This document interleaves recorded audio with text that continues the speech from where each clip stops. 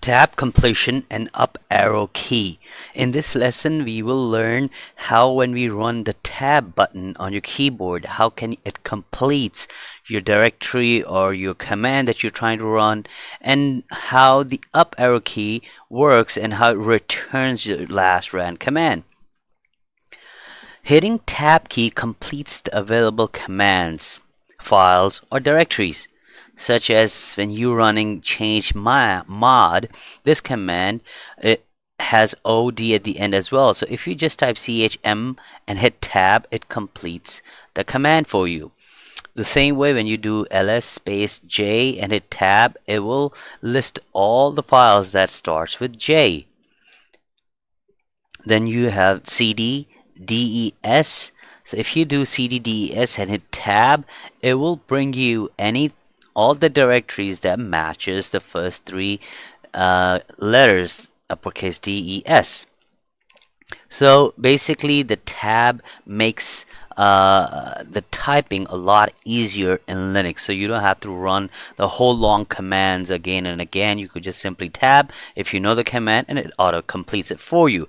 This is very useful feature in Linux. I'm telling you this is very useful. Once you're gonna become a real uh, expert in Linux you're gonna be using this tab button almost every day and every time you logged into Linux machine then we have another cool feature of Linux is hitting the up arrow key. What that does is every time you hit up arrow key, it will bring you the last ran command on your Linux terminal. Isn't that cool? It is cool because you don't have to run the commands again and again and again. So you just hit up arrow key and boom, and hit enter and we'll run that last command. So let's see how these two um, tab and up arrow key works in our Linux machine.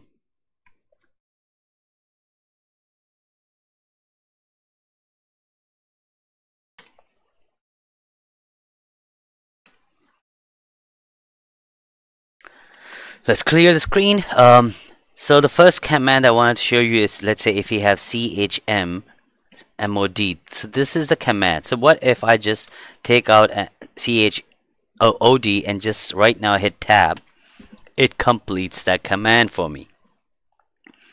What if I just do ch and hit tab twice?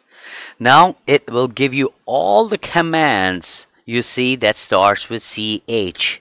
Now you know there are many other different commands that start with ch and you could try different commands to see as long as you know about that command. So don't run any command that you really don't know. Or you I would I recommend you you run man command on that before you running it. So another way we could check our tab is if you wanted to do ls and I wanted to do uh, J. I wanted to list all the files that has Jerry and I will hit tab. There you go. See, it auto completes my Jerry. Why did that? Because most likely I only have J files starting with just one file, which is this is the one J. Let's say there are two files that starts with three files actually that starts with L, Lex, Lisa, and Lois. And let's see what happens when I do ls and do L and hit tab twice. It gave me all three files that starts with L.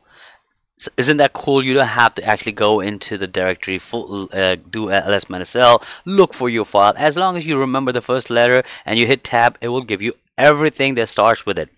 Same way, we'll do ls minus l, and let's say if I wanted to do desktop, I wanted to cd into desktop, let's say. There is this um, folder we have in our home directory desktop, right? We could do cd des desk desktop, type the whole thing, hit enter and go in let's go one step back again.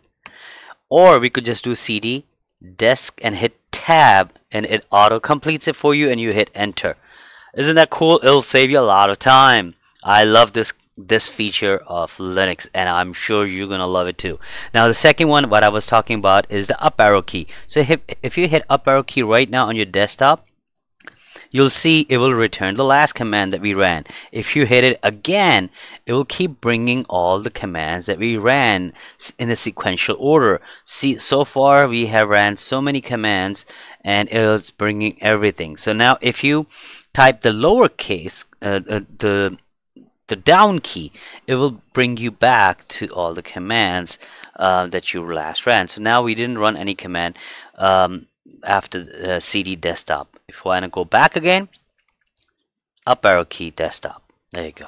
So now, um, let's say I want to do, this time I wanted to do, um, uh, let's say, what is um, ls and what is pwd and uh, clear and one more command we will run let's say uh, date. Date is another command that we'll cover later on.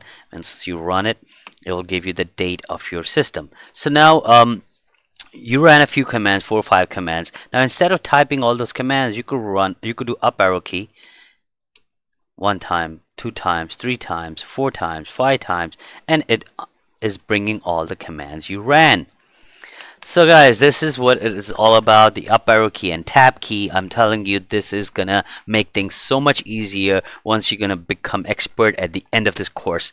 Alright, I hope you really like this one and I really want you to practice this tab and up arrow key again and again and again so you will know how these uh, both features work.